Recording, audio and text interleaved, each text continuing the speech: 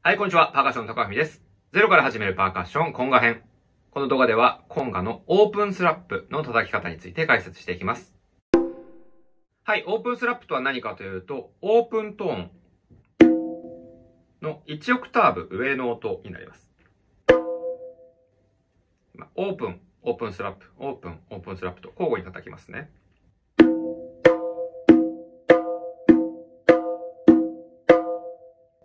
このような音になります。以前チューニングの動画でも触れたんですけれども、コンガというパーカッションの最大の魅力っていうのは、叩き方によって振動数と倍音をコントロールして様々な音色が出せるっていうところにあります。で、このオープンスラップも、叩けるようになりますと結構目立つ音色なので、ソロとかですね、フィルインとかで、え表現の幅がぐんと広がります。ただ、コンガでリズムを叩くっていうことに関して言えば、今までやったオープントーン、クローズトーン、スラップトーンの3種類だけで大丈夫です。オープンスラップは叩けなくても差し支えありません。なので、ビギナーの方で普段コンガを叩く練習時間があんまり取れませんという方はですね、このオープンスラップの章は飛ばしていただいても大丈夫です。それよりも今までやったオープンクローズスラップの方が圧倒的に優先度が高いので、まずはそちらからマスターしていただいて、余裕がある方や、まあソロでですね、バキバキ、オープンスラップ叩きたいよという方だけ参考にしていただければいいなと思います。はい、では叩き方の解説です。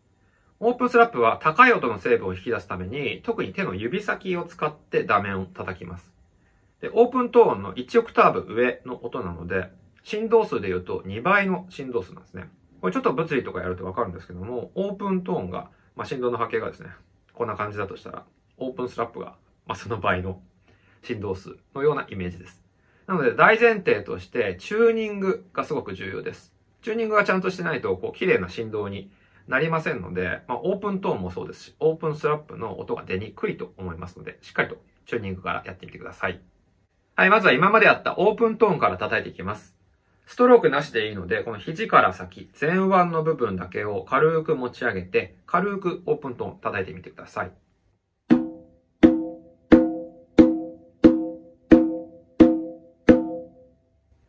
で、オープンの時は、この指の腹の部分ですね。第二関節付近が特に打面に当たってると思うんですけれども、この状態から、だんだんこの手の剣を少しリラックスさせて、こう指が丸まるようにだんだんしていってみてください。で、打面にだんだんですね、この指の腹の部分から指先が当たるようにだんだんと移行していってみてください。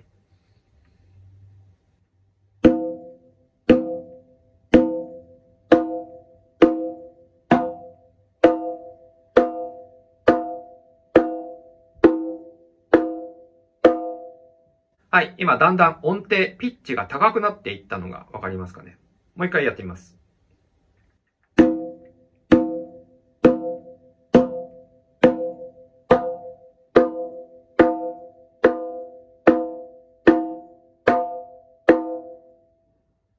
はい。改めて説明しますと、オープンの時は指が平らな状態です。で特に第二関節付近がよく当たっていると。で、これを指をだんだんですね、リラックスさせてこう丸めていくと、ダメに当たる部分が第二関節から第一関節の方になって、最終的に指先の方が当たるようになると。で、それに伴って振動数が上がって、だんだんとピッチが上がっていきます。で、この指先で打面を叩きながら、少しずつですね、叩く場所をこう、ずらしていくと、叩く場所によって音程が低いところと高いところが見つかると思います。で、その中で特に高いところ、スイートスポットが、えーどこにあるのかっていうのをですね、こう叩きながらちょっと探ってみてください。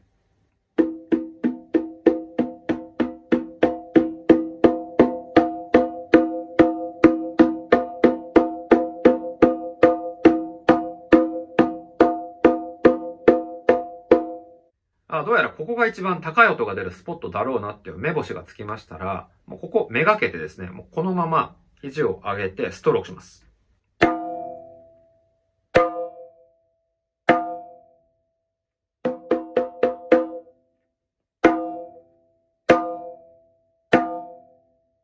ストロークすることによって腕の重さとスピードが乗りますので、この音のアタックが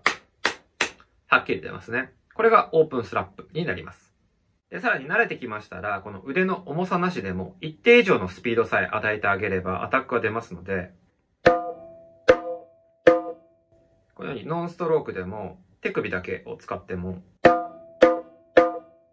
オープンスラップを出すことができます。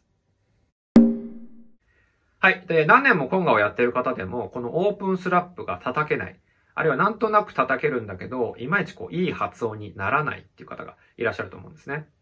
で、このオープンスラップが綺麗にならない要因っていうのがいくつか考えられますので、それをこれからトラブルシューティングしていきます。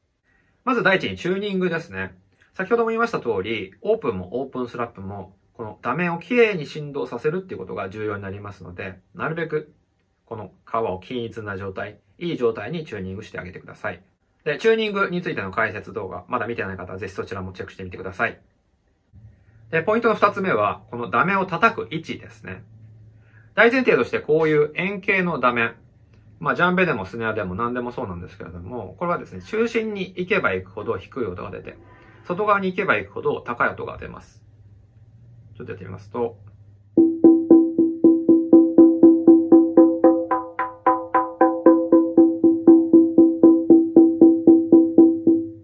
なのでこの指先がダメに当たる位置があんまり中心に近いと、これちょっと詰まったような低い音の成分になってしまいます。で、そうした場合にはちょっと手の位置を外側に引くか、この手の位置を少し内側に傾けて、指先が当たる位置を少し外側になるように調整してあげてください。で、コンガの画面のサイズに対して手が大きい、あるいは指が長い人は、まあ、自然にこう当たった時にですね、やっぱ指先が中心に寄りがちなんですね。で、僕も、まあまあ手大きい方だと思うんですけれども、僕の場合はやっぱりちょっとオープンスラップの時は手を外側に引いて少しだけ内側に傾けています。はい。で、ポイントの3つ目は、画面にどの指が当たるかっていうことですね。基本的には人差しから小指まで4本指すべて画面に当たっているんですけれども、まあいろいろ叩くとわかるんですけれども、どの指を中心に当てるかによって、この高い音の成分を引き出しやすさっていうのが変わってきます。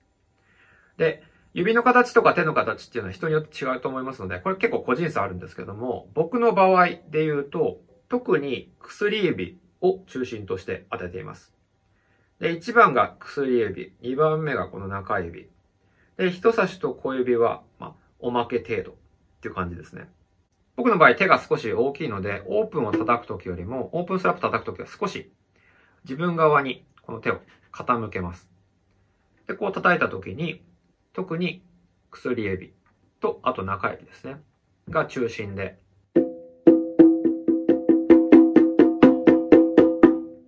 高い音の成分が出るところを当てていて、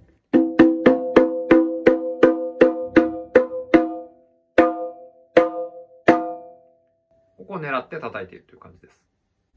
ただまあ練習すれば、例えば人差し指中心でも、まあ十分高い音を引き出すことができますので、まあ個人差あると思いますので、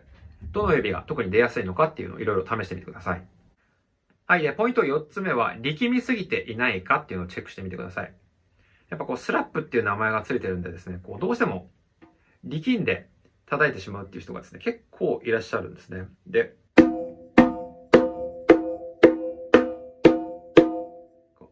れやと、えー、力んで叩いても、ただこう、音が鈍くなってちょっと詰まってしまうだけで、もう、まあ、正直太鼓叩く上でですね、体力んでいいことって一つもないんですね。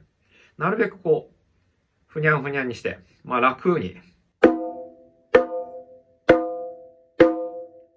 やってあげれば十分にですね、高い音っていうのが得られますので、できれば鏡とかスマホのカメラとかで、まあ、自分の姿を確認してですね、こう動きが力んでないかっていうのを確認してみてください。はい。で、以上の4つをチェックしても、もうどうしてもオープンスラップ叩けませんという人はですね、コメントください。で、どういう状況かも具体的に書いていただけると、精度の高い回答ができると思います。はい。では最後にオープンスラップのアタック音を得るために、このコンガの縁を利用するっていう方法を解説します。でヒットのアタックを得るためには、重さか速さ、あるいはその両方が必要になります。で、今回の場合は速さですね。この縁を利用することによって、まあ、極端にやると、これが縁だとして、こういう話ですね。こう縁を利用して、指を弾くことによって、こう瞬発的に速さを与えてあげる。でこの速さを利用して、強いアタックを出すと。ただあくまでこの手のひらと指先っていうのがですね、同時に当たるぐらいを狙った方がいいと思います。ビギナーの方が最初からこの縁をこう狙いに行ってしまうと、結構この手のひらとか手首に負荷がかかりますので、腱鞘炎になる可能性があります。なので、あくまで負荷的な要素として考えておいてください。で、このコンガの縁が当たる部分が手のひらよりももっと上の部分、この指の付け根ぐらいの、まあ、ここの肉がある部分ですね。まあ、この辺りにしてあげると、さらに高い音が出やすくなります。ので、普通のポジション、オープンと同じポジションで、まあ、どうしてもオープンスラップが出にくいという場合は、少し手を引いて、えー、今回の縁にですね、この指の付け根の肉のところが当たるポジションで、えー、やってみてください。はい、というわけで今回のオープンスラップについての解説でした。えー、おそらくですね、これ現存する中で世界一詳しい解説だったと思いますので、まあすいません、これでできなかったら諦めてくださいっていう感じなんですけれども、まあ嘘です。えー、できないという場合はですね、コメントいただければ、えー、回答しますので、お願いいたします。はい、こんな感じでこのチャンネルではパーカッションに興味がある方のための有益情報やレッスンなどを配信しておりますので、ぜひチャンネル登録をよろしくお願いします。えー、シェアも大歓迎でございますので、よろしくお願いします。それではまた次の動画で会いましょう。バイバイ。